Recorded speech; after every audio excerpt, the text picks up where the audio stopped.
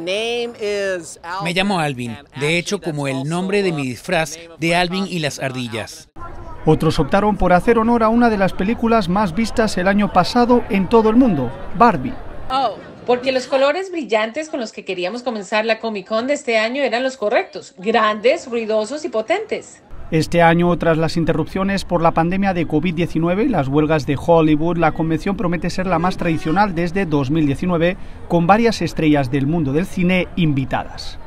Marvel tendrá un papel protagonista con el esperado estreno de Deadpool and Wolverine, la única película de Marvel respaldada por Disney este año, protagonizada por Ryan Reynolds y Hugh Jackman.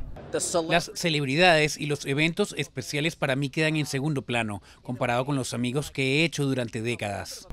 Los asistentes que llevan acudiendo a la convención por más de una década, como JC Kawai, tienen claro por qué es tan especial. La vida es corta. Disfrázate como tu personaje de anime favorito o princesa de Disney. La vida es corta. Disfrútala. Los organizadores de Comic Con han acordado quedarse en San Diego hasta 2026, aunque están preocupados por los altos precios de los hoteles y la falta de habitaciones asequibles, lo que podría complicar su permanencia a largo plazo. Lo que cuesta más es no nomás a venir, pero a, ocupar un lugar a donde dormir. Son los hotel rooms hay veces que se suben mucho en precio. De momento, San Diego seguirá disfrutando de la mayor fiesta de la cultura pop del mundo. Alex Segura, Voz de América, San Diego.